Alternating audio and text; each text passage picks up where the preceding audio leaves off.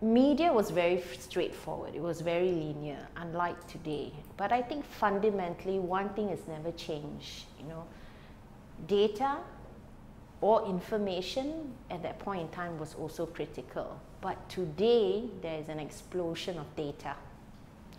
And the way we need to embrace data and use that is going to be really important. And when we know how to do that, it's going to be really powerful.